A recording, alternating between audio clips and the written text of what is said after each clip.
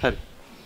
විශේෂයෙන්ම ඊයේ දිනේදී අපි දුටුවා මාධ්‍ය ඔස්සේ වෛද්‍ය හේමන්ත හේරත් මහතා විසින් ප්‍රකාශයට පත් කළා පොදු ප්‍රවාහන සේවා පිළිබඳ අවධානය යොමු කරන්න යම් ආකාරයේ රට විවෘත කරන්න හැකියාවක් තියෙනවා නම් පොදු ප්‍රවාහන සේවාවෙන් තදබදයක් ඇතුව යම් මගී ජනතාව ගමන් කිරීමේදී ඒ පිළිබඳ සැලකිල්ල දක්වන්නේ කියලා. ඉතින් විශේෂයෙන්ම අපි සෞඛ්‍ය අමාත්‍යාංශයටත් ප්‍රවාහන අමාත්‍යාංශයටත් දැනුම් දෙන්න ඕන.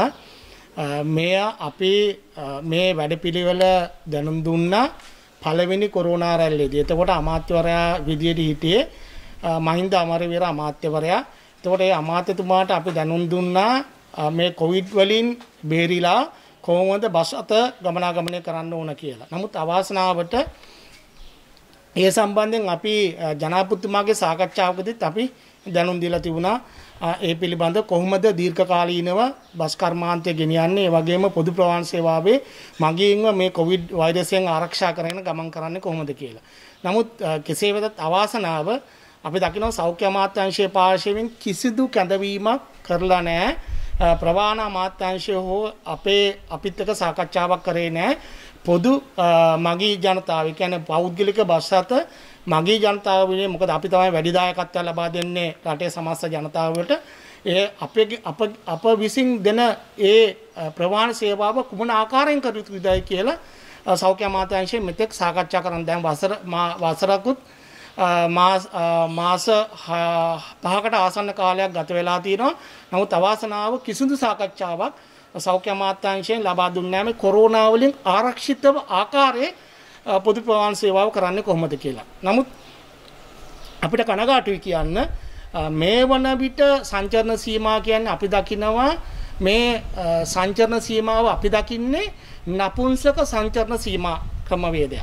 මොකද මේදී පෞද්ගලික බස් අත පමණයි සහ රාජ්‍ය බස් සේවාව සහ දුම්රිය පමණයි ධාවනය සිදු වෙන්නේ නැත්තේ. මේක සංචරණ අපි අහන්නේ එකම එකම ප්‍රශ්නය අහන්නේ මේ පෞද්ගලික බස් අත වලින් රාජ්‍ය බස් සේවාවෙන් දුම්රියෙන් පමණද මේ වෛරස් එක බෝ වෙන්නේ. නමුත් දැන් දින කීපයක් දැන්ට මේ රට ලොක්ඩවුන් කරලා තිබුණා. නමුත් ලොක්ඩවුන් කරලා තිබුණාට ආසාදිතයන්ගේ සංඛ්‍යාව අඩු වෙලාවක් නැහැ. මරණ සංඛ්‍යාව අඩු වෙලාවක් නැහැ. දැන් දින 12ක් විතර වෙනවා. දින 12ක් හෝ 13ක් වෙනවා. නමුත් අවාසනාව බස් අත පමණයි පාරේ ධාවනය සිදු වෙන්නේ නැත්තේ. සහ කෝච්චි ධාවනය සිදු වෙන්නේත් නැහැ. නමුත් සියලුම දේවල් ක්‍රියාත්මක වෙනවා. අවාසනාව ඒකයි. මොකද අපි අපි දකින්නේ මේ අපේ විශේෂයෙන් පෞද්ගලික බස් අත හිමිකරුවන්ගේත් සේවකයින්ගේත් කර්මයක් කියලා තමයි අපි මේක දකින්නේ. මොකද දකින්නේ පෙනෙන්නේ කාටත් කතා කරන්න තියෙන්නේ පෞද්ගලික බස් සේවාවත් විශේෂයෙන් පෞද්ගලික බස් සේවාව විතරයි. මොකද මේදී විශේෂයෙන්ම අපි කියනවා සෞඛ්‍ය අමාත්‍යාංශයට ඔවුන් යම් යම් ආකාර නිර්ණායකයන් ප්‍රවාහන අමාත්‍යාංශ නිර්ණායකයන් ඉදිරිපත් කළා අපිට කනගාටුයි කියන්න. විශේෂයෙන්ම මේදී ආසන සංඛ්‍යාවට මගින් ගෙනියන්න කියලා කිව්වා. එතකොට හිටගෙන ගියොත් මේ කොරෝනා හැදෙනවා කියලා කිව්වා. ආසනයේ ගානට ගිහපුවාම ආසනයේ වාඩි වෙලා ගිහපුවාම කොරෝනා හැදෙන්නේ නැහැ කියලා කිව්වා. මොන සෞඛ්‍ය සංවිධානයකද විශේෂයෙන්ම ලෝක සෞඛ්‍ය සංවිධානය කොහේ හරි මේ නිර්ණායකයක් තියනවද? ඉතින් අපි මේ මේකෙන් අහනවා මේ සෞඛ්‍ය අමාත්‍යාංශයෙන් විශේෂයෙන් හේමන්ත වෛද්‍යතුමාගෙනුත් ඒ වගේම අපි අසේල වෛද්‍යතුමාගෙනුත් අහනවා එවැනි එවැනි නිර්ණායකයක් තියෙනවාද? ඉතින් අපි මෙහිට ඉස්සෙල්ලා අපි නිර්ණායකයන් ඉදිරිපත් කරා පෞද්ගලික බස් අත ධාවනය කරන්න ඕනද කියලා කොහොමද? මොකද පොලිමේ ඉඳලා මීටරේ මීටරේ දුරින් පොලිමේ ඉන්නවා. එතකොට බස් එකේ ළඟට ඇවිල්ලා වාඩි වෙලා මිලිමීටරයක් නැතුව ළඟින් හේතු වෙලා කරටත් අත දාගෙන යනවා. ඉතින් ඕක තමයි தත්ත්වය. ඉතින් ඕක අපි දිගින් දිගට ඒක නෙමෙයි කරන්න ඕන අසීමිත ආසන සංඛ්‍යාවෙන් 50යි. ඒ කියන්නේ ධාරිතාවෙන් ආසන 50ක් තියෙනවා නම් මගින් 25 දෙනා ගෙනියන්න ඕන.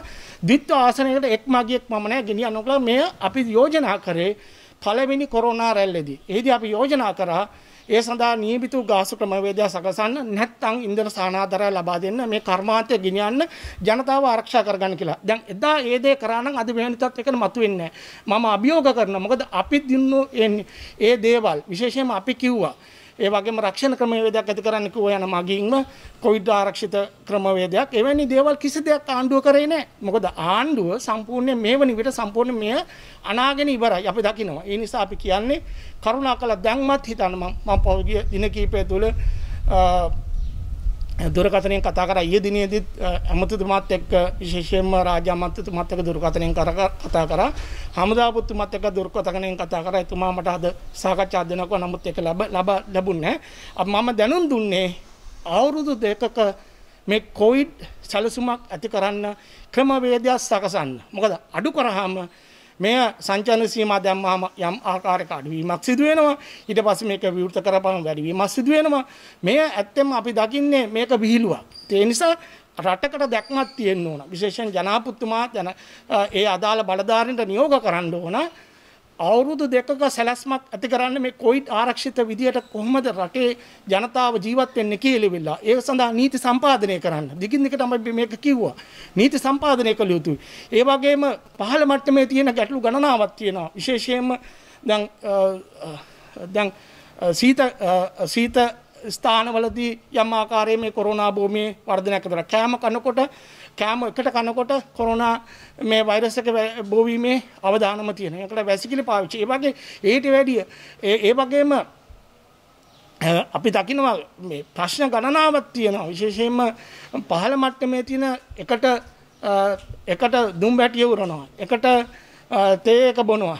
එතකොට එකට කෑම කනවා. ඉතින් මෙවැනි ගැටලු ගණනාවක් තියෙනවා. ඉතින් ඒවා වලට ඒ අවශ්‍ය නිර්ණායකයා මූණ ආවරණය කවුරුත් යම් අවස්ථාවල ඒ අය මේක දාගෙන යන්නේ නැහැ. ඒ වගේම අපි යෝජනා කරා තෑගි ක්‍රමයක් ලබා දෙන්න ඒ ආයතන වලට කොරෝනා ආරක්ෂිත විදියට කරන්න. ඒ වගේ පහළ මට්ටමේ පහළ මට්ටමේ වැඩ ගණනාවක් තියෙනවා කරන්න. ඉතින් ඒ නිසා අපි කියන්නේ දකින්න එපා පෞද්ගලික බස් රථ වලින් පමණක් හෝ රාජ්‍ය බස් සේවාවේ දුම්රියෙන් පමණක් කියලා ඒ අයට අවශ්‍ය දුරස්ත භාවයේ තියාගෙන ප්‍රවාහන සේවාව සැලසුම් කරන්න අපිට අලුතින් දෙයක් කරන්න දෙයක් නැහැ මේ සඳහා යෝජනාවල අපි කිව්වා රටේ රාජ්‍ය සේවකයින්ව වරු දෙකකට කැඳවන්න. එතකොට මේ තදබදයක් ඇති වෙන්නේ මොකද රාජ්‍ය සේවකයෝ එන්නේ ගොඩක් එන්නේ කෝච්චියේ. ඒ නිසා අපි කිව්වා උදේට එක්ක වරුවක් පැය 6ක් හෝ පැය 5ක් තියන්න හවස් වරුව තියන්න එතකොට මේක දෙකට කඩලා එනවා.